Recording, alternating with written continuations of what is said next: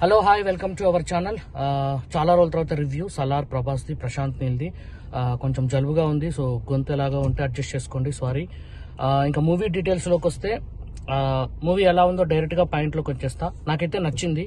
So ఎంత నచ్చింది plus ఏంటి మైనస్ ఏంటి అనే డీటెయిల్స్ మాట్లాడదాము. సో స్టోరీ విషయానికి వస్తే ట్రైలర్లో చూపించింది అందుకని ఎక్కువ నేను చెప్పను. ఏంటి uh, ఫ్రెండ్స్ ఇద్దరు చిన్నప్పుడు విడిపోతారు తర్వాత కాన్సార్ ఒక రాజ్యంలో రాజ్యం అంటే వెనకటి రాజ్యం కాదు కాన్సార్లో ఉన్న పొలిటికల్ ఇష్యూస్ వల్ల పృథ్వీరాజ్కి ఫ్రెండ్కి ప్రాబ్లం అయితే సలార్ మన ప్రభాస్ రావడము దేవా. సో తర్వాత ఏమైంది ఏంటి అది స్టోరీ. అండ్ క్లైమాక్స్లో పార్ట్ టూకి ఎలా తీసుకెళ్ళాడు past part one ceasefire కదా పార్ట్ టూ పార్ట్ టూకి ఎలా సెట్ చేశాడు? అది ఓవరాల్గా స్టోరీ. అంతకుమించి నేను చెప్పను. సో ఫస్ట్ సినిమా ప్లస్లు మైనస్లు ఫస్ట్ హాఫ్ ఎలా ఉంటుంది అంటే హీరో ఇంట్రడక్షన్ అదైతే సూపర్.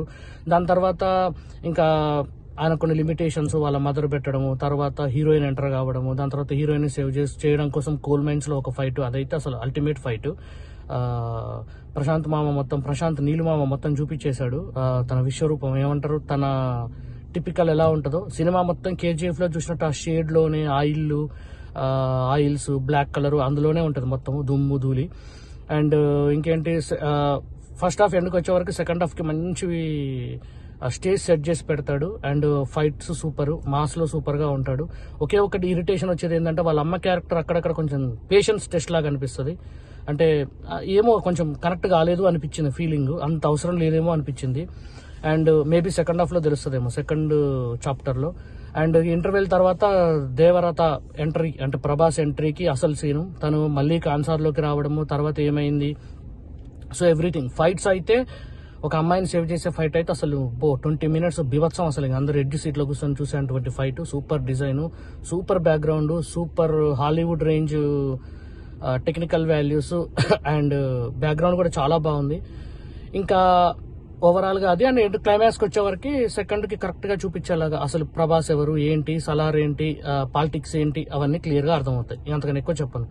మైనస్ గురించి మాట్లాడుకోవాలంటే అన్నట్టు ప్రతి ఒక్కరు కేజీఎఫ్ తోటే కంపేర్ చేస్తారు. ఎందుకంటే నీల్మామ మూవీ కాబట్టి. ప్రశాంత్ నీలు టేకింగ్లోనే ఉంది సినిమా. సో చూస్తున్నంతసేపు అక్కడక్కడ రాఖీ బాయ్ గుర్తొస్తుంటాడు. ఆ సీన్స్ కూడా అక్కడక్కడ మనం తప్పదు. ఎవరైనా కంపేర్ చేసుకుంటారు. నేనే చేసుకుంటా కాబట్టి.